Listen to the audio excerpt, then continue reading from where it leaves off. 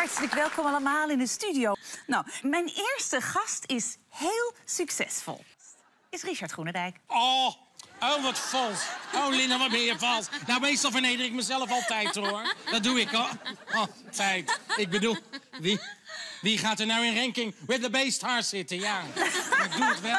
Ja. Ja, dat is vreselijk. Maar even terug naar de gast waar de kijker echt op zit te wachten. Graag. Eh, Sylvie, ja, ik hoop je vandaag echt iets beter eh, te leren kennen. Want ja, ik ken je eigenlijk alleen maar van je mooie buitenkant.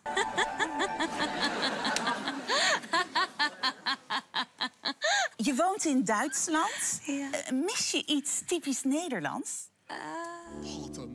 Vla. Neem je tijd, schat. Vla. Vla is... Oh mijn god, Linda. Wat is er met jou gebeurd? Nou, ik voel me bij elke vraag gewoon 20 jaar ouder worden. Hey, dat is misschien een heel leuk programma-idee. Hmm.